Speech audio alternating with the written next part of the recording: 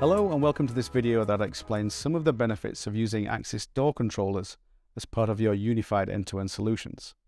Axis have two IP door controllers and in this video we will take a look at the A1610 two-door controller. The A1610 is fully integrated within Axis Camera Station and this smart door controller is optimized for advanced applications and offers powerful hardware with extra processing power, memory and storage.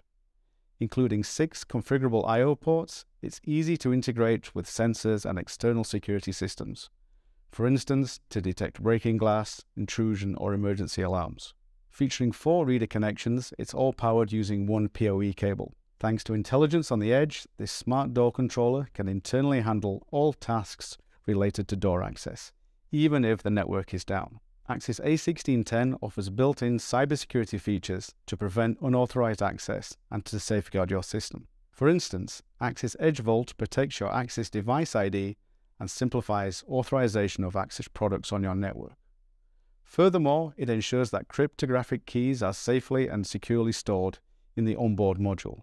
You can store up to 250,000 credentials and 250,000 event logs on the device itself, and it ensures flexible and secure authentication using different types of credentials. For instance, you can grant access to thousands of visitors using traditional access types, such as a fob or PIN code, as well as dynamic QR code for visitor access and license plate verification for vehicle access. Axis also offer a barebone version of the A1610 unit for cabinet mounting with a DIN rail mounting available. For more information, please visit axis.com or contact your local Axis sales office for a demonstration.